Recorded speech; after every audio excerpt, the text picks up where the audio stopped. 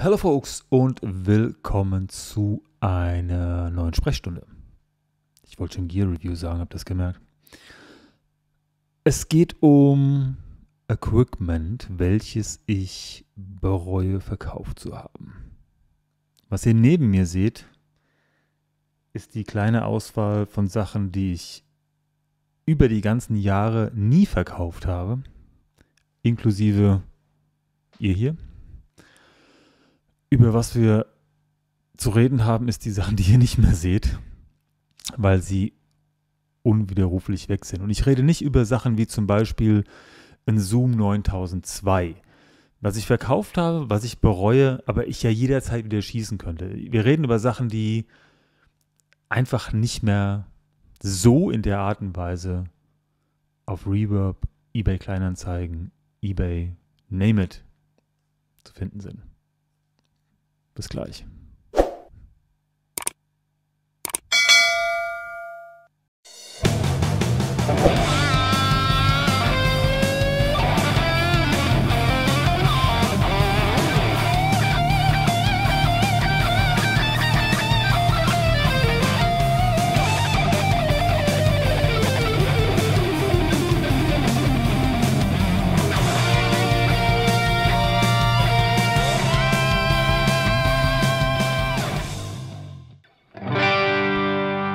Das immer wieder.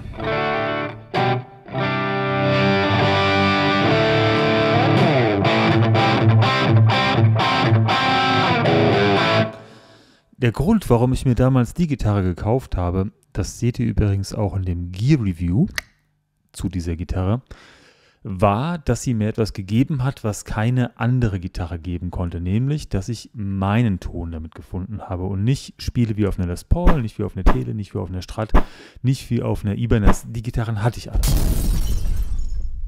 Zu dem Zeitpunkt. Und das ist auch der Grund, warum sie dann nie gehen durfte. Es gab andere Gitarren dazwischen. Ich hatte dazwischen zwei 59er Les Pauls. Wunderschöne Instrumente und durch die Tatsache, dass ich direkt am Lager war, konnte ich mir natürlich auch die geilsten raussuchen. Aber The Thing ist einfach The Thing. Und äh, ich meine, sie hat ihren Weg gemacht bis hierhin und sie ist verbunden mit mir für immer. Was ebenfalls nicht gegangen ist, und das ist relativ komisch, weil es eigentlich so ein Bestandteil des Sounds ist, den man nicht hört, ist er hier. Diamond Kompressor, übrigens Seriennummer 0009. Also erst der neunte gemachte. Ich hatte damals das Glück, auf der NEM-Show die Firma zu entdecken. Und ja, da war es um mich geschehen. Und es ist nach wie vor für mich der geilste Kompressor, Opto-Kompressor, den es gibt. Den ne-, nehme ich für Bass, den nehme ich auch für Gitarre. Ist einfach totgeil, weil hat noch ein EQ drin und egal. Was ebenfalls nicht gehen durfte, war dieser Hardman Octavia, den ich durch Zufall im Internet gefunden habe vor, keine Ahnung, 20 Jahren. Okay, da steht mein Name drauf. Das wäre auch so eine Kiste gewesen, die du nie wieder hättest irgendwie gewinnbringend verkaufen können. Also warum verkaufen, wenn ich nur Geld drauflege? Behalten. Meine Go-To-Pedale, wenn es um Pedalboard geht, ist DD3 und TU, das muss ich gerade mal gucken, TU3.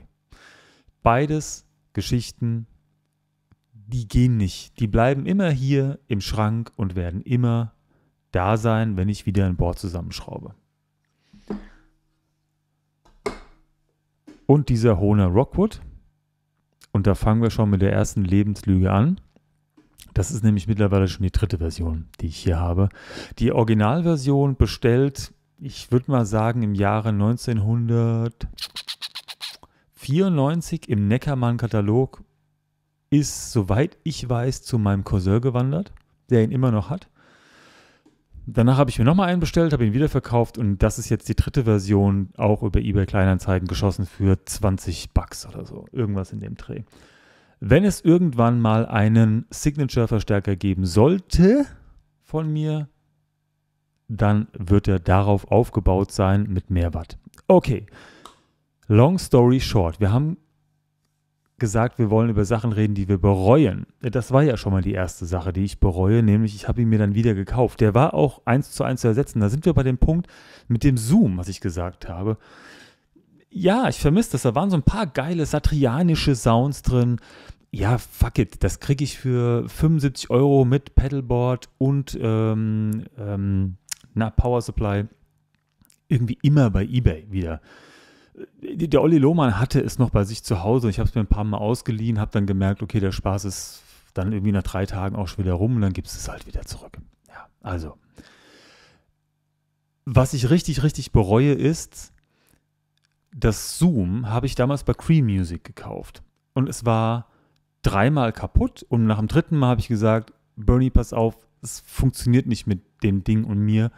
Ähm, ich tausche es ein. Und es war damals richtig, richtig teuer. Es war richtig, richtig teuer. Es war, keine Ahnung.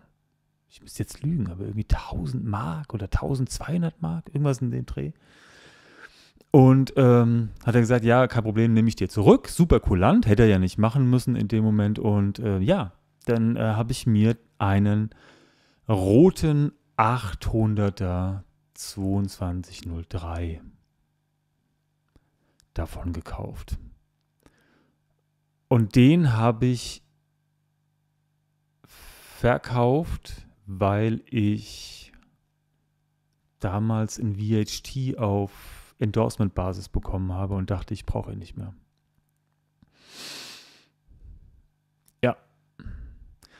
Ich habe noch ein paar Live-Aufnahmen gefunden, die ich damit gemacht habe. Hört mal rein.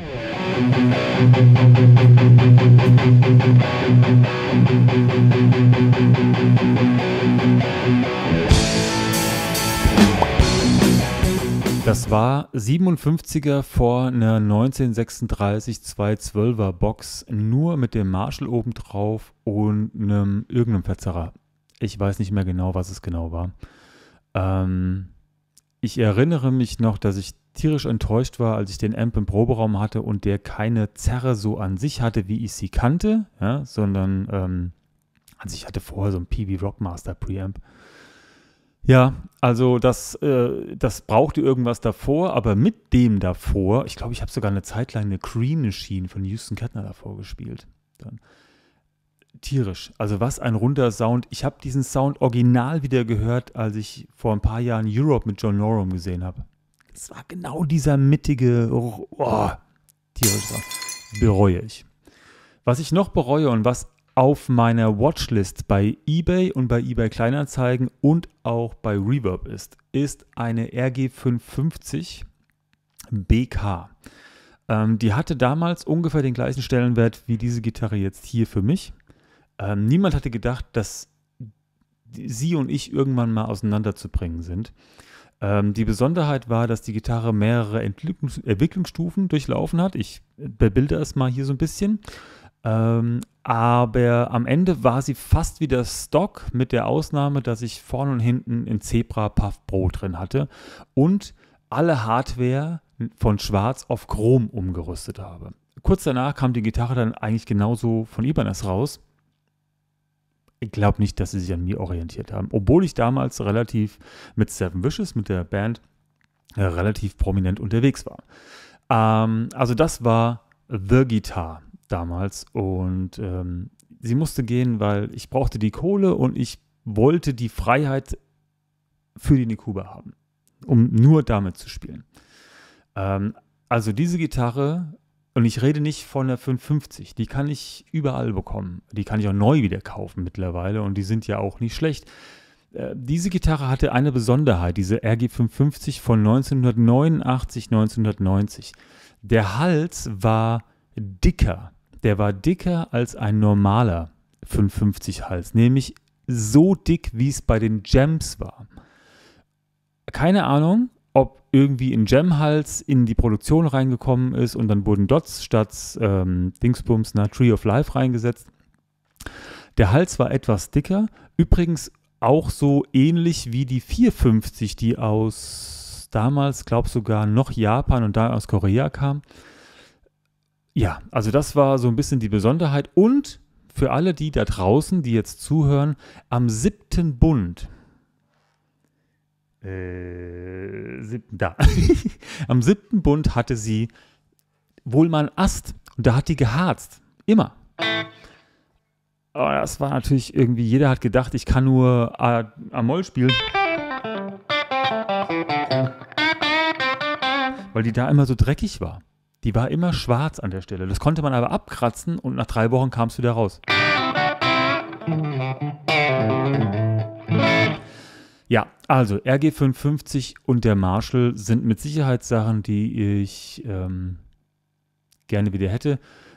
Warum der Marshall unwiederbringlich ist, ja, ähm, der Marshall war speziell, so wie jeder Marshall irgendwas Spezielles hatte. Und ich möchte gar nicht das Risiko eingehen, mir einen anderen roten zu holen und dann enttäuscht zu werden. Also dann den. Also das, ähm, die beiden Sachen waren mit Sicherheit eine Geschichte, die ich hätte niemals gehen sollen, lassen sollen. So.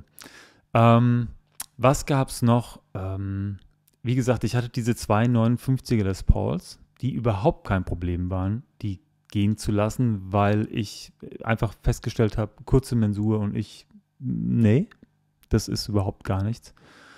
Und ähm, ja, im Grunde genommen bleibe ich bei den beiden Sachen hängen, die ich am meisten bereue. Mein allererster großer Verstärker war ein Laney AOR 100. Und ich bin schon mindestens zweimal in den reingerannt.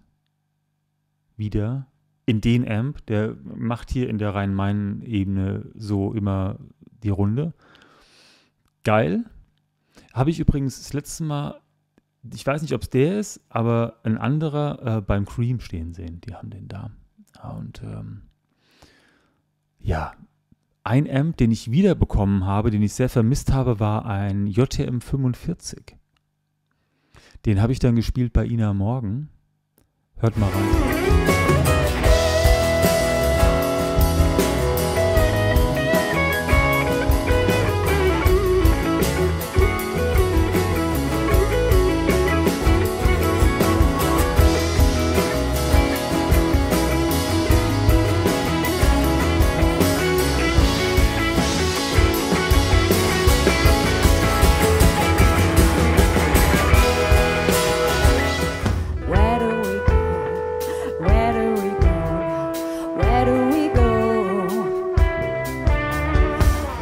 Gitarrensound habe ich echt sehr viel Lob bekommen. Ähm, aber es war halt überhaupt nicht ich. Also ich fand es entscheiße. Ich hatte einen Riesenspaß. Ich hatte den Riesenspaß, weil ich mal irgendwann auf der Bühne stand mit der Ina und äh, mein Pedalboard ist ausgefallen und ich habe einfach in den Amp rein und habe ihn volle Kanne aufgedreht. Das war mal ein cooles Erlebnis, klang aber jetzt auch nicht so geil, dass ich jetzt gesagt hätte, das ist mein Leben. Ähm, nee, da bin ich nach wie vor der, der Typ hier. Ähm